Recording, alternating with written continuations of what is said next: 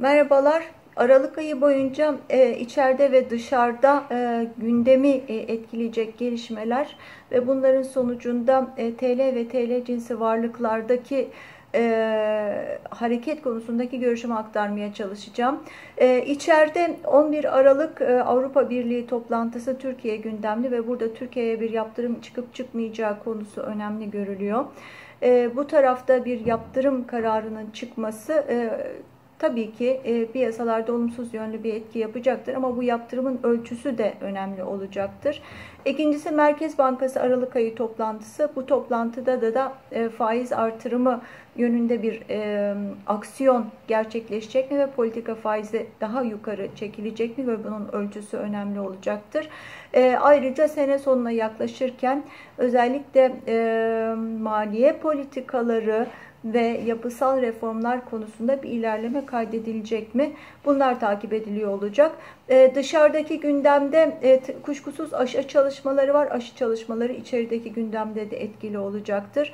Ee, FDA ve e, Avrupa'nın e, otoritelerinin de onayıyla beraber aşı uygulamalarına başlanması, bunun ilerleyişi ve dünya genelinde ne kadar hızlı bir şekilde aşı çalışmalarının yaygınlaşması, yaygınlaştığını görmek piyasalar için önemli olacaktır. ABD tarafında ikinci teşvik paketi tekrar konuşulmaya başlandı.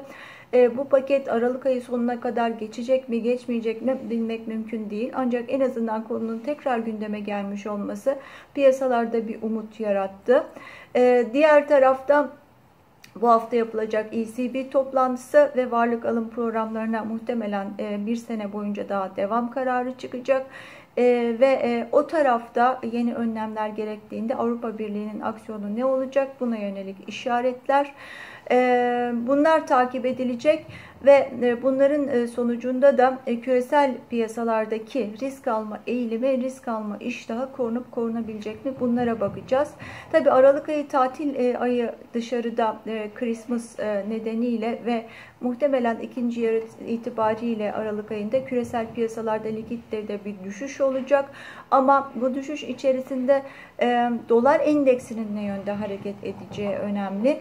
E, dolar endeksi eğer ki yükseliş trendini koruyabilecek ise euro dolar paritesinde de özellikle biraz da Brexit tarafındaki gelişmelere haber akışına göz önüne alarak e, yükseliş trendi sürebilir. E, bu hafta ECB toplantısı e, da e, euro dolar paritesinde bir oynaklık olabilir ve bu tarafta özellikle geri çekilmeler e, yüksek ihtimalle e, döviz piyasası tarafında alış fırsatı olarak görülecek diye düşünüyorum.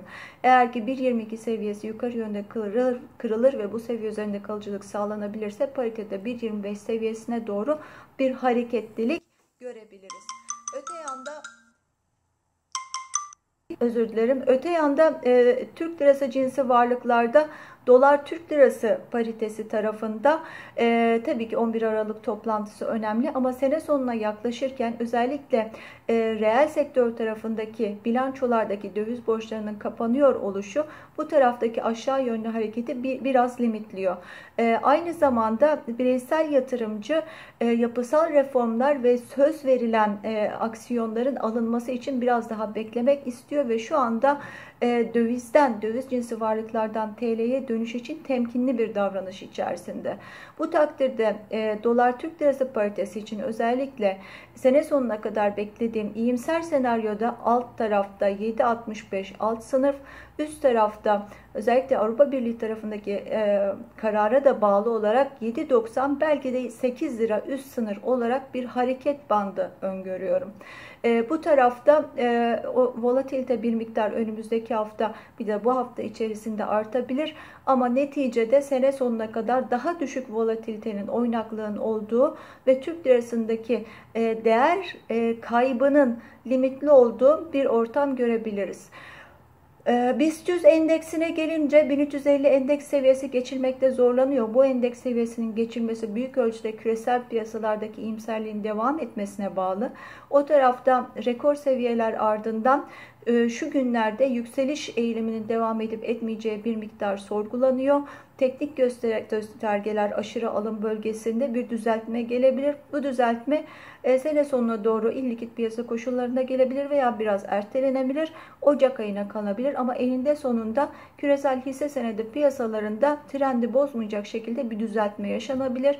E, BIST 100 tarafında 1350 endeks seviyesinin aşılması ile beraber daha olumlu bir teknik görünüm olacaktır. Ama olası bir geri çekilme halinde ise 1300 e, endeks seviyesinin önemli olduğunu düşünüyorum. Ana trend içinde 1270 endeks seviyesi takip edilmeli. Hani biraz daha orta ve uzun vadeli düşünen yatırımcı için 1270 endeks seviyesi üzerinde kaldığı sürece yukarı yönlü eğilim devam ediyor olacak. Ama 1300 geçtiğimiz haftada olduğu gibi geri çekilmelerde önemli bir destek seviyesi olarak takip edilecektir. Gram altın tarafına gelince gram altın tarafında hem e, dolar ons tarafındaki dışarıdaki hareketlenme hem de 2021 yılına ilişkin beklentilerle 495 TL gram seviyesine doğru yükselişin devam edebileceği kanısındayım.